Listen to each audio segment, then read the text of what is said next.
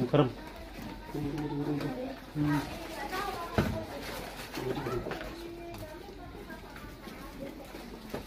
Astagfirullahaladzim.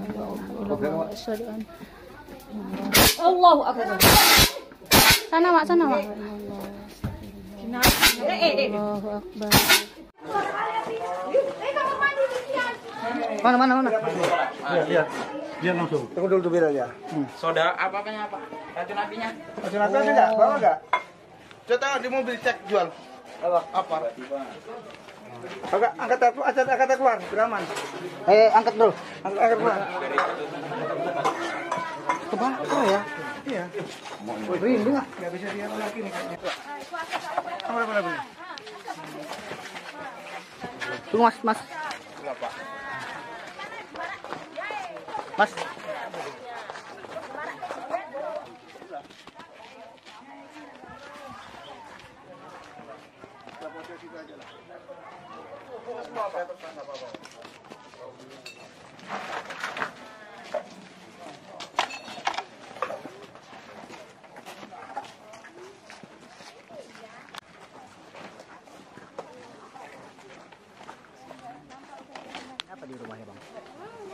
Teror api.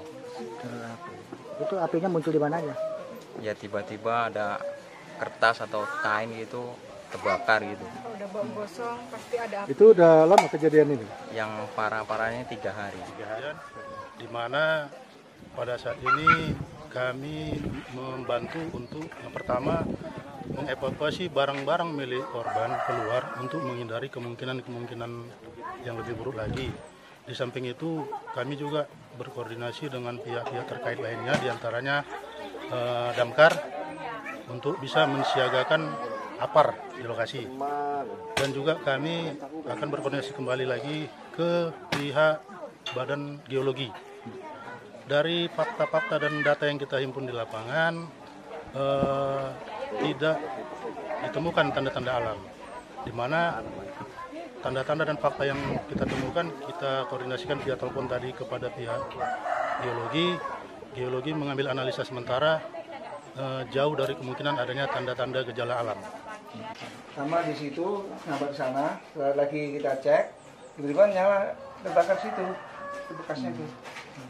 Di lantai ya mas ya? Di lantai, di lantai. Nanti langsung saya ambil dokumen saya foto kayak gitu. Nah, Setelah apa baru kita keluarkan untuk apa diamankan. Di mana tadi? Saya tadi? Di atas, Pak. Di bawah kamar mandi. Di bawah ya? Apa? Kirim-kirim tadi sama saya. Sama itu, sama bawa baju BD sini sini. Langsung. Kita masuk wartawan wartawan semua ikut. Kami pas ngobrol-ngobrol di depan. Masih seringan semua.